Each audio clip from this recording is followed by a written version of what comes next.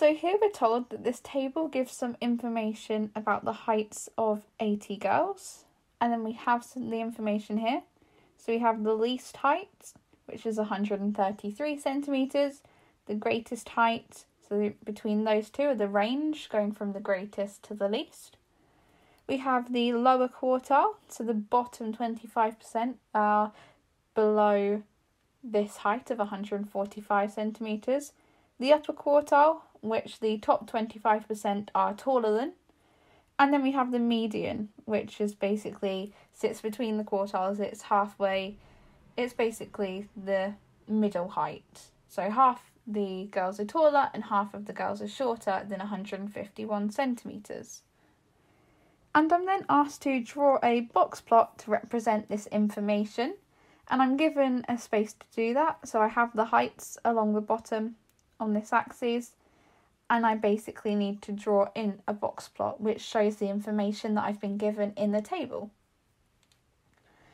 So here I'm looking at the information and I'm thinking about the kind of general way a box plot is drawn. So it's going to have the main box in the centre and this box is going to have lines at the lower quartile, the median, and then the upper quartile contained within this box.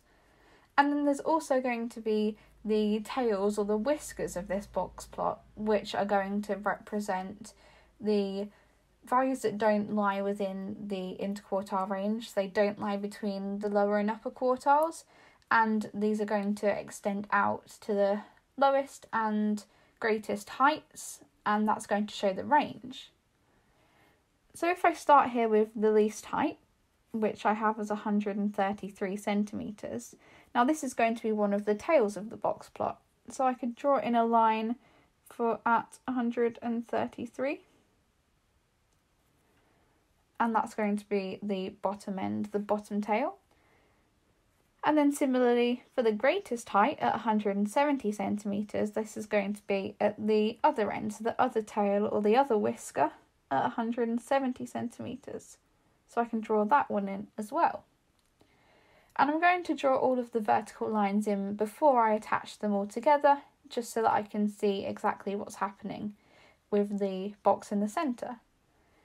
So then I can draw the centre box in. So if I take the lower quartile at 145 centimetres, and the median at 151. It's important to remember here that the median doesn't need to be halfway between the lower and upper quartile. We're going to see this in the diagram.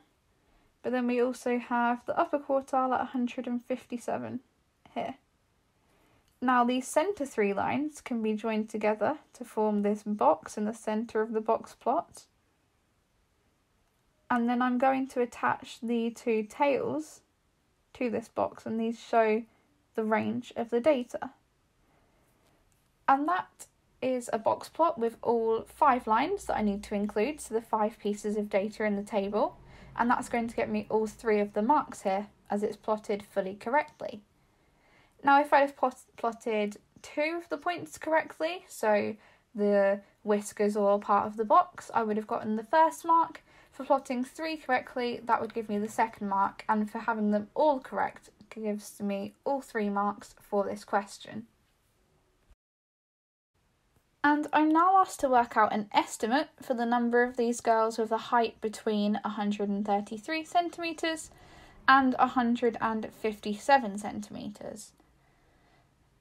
So if I refer back to the box plot that I've just drawn, at 133 centimetres, that's going to be this lower bound, so the shortest, the smallest height. And then up to 157 centimetres, that's here at the upper quartile. So we're basically asked to estimate how many girls have a height between the lower end of the range, so the bottom, the bottom end, the whisker at the lower end, the tail, and the upper quartile. Now, if we break this down into sections, so between the lowest value and the lower quartile, this is going to have 25% of all of the girls' height. So 25% of the heights are going to sit in this section. So a quarter of the total heights. And then yet again, between the lower quartile and the median, there's going to be another 25%. Between the median and the upper quartile, another 25. And then between the upper quartile and the top end of the range, another 25.